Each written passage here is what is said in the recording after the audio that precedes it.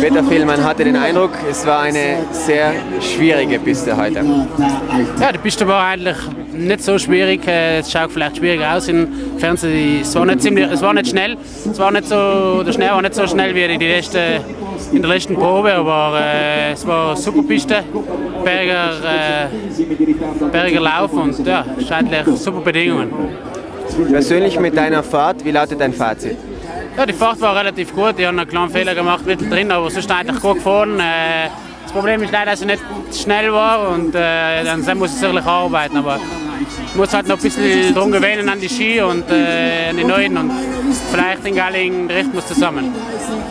Das heißt also, letztes Jahr warst du sehr erfolgreich, heute läuft es noch nicht äh, ganz so nach Wunsch, aber bist trotzdem zuversichtlich. Ja, ich denke, ich fahre einfach nicht schlecht Ski, bin leider nicht so schnell.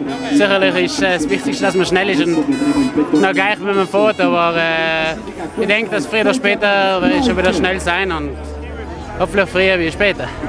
Vielleicht sogar morgen bei der Abfahrt? Ja, sicherlich werde ich wieder alles geben und äh, das Beste probieren und hoffen wir, dass es gut geht.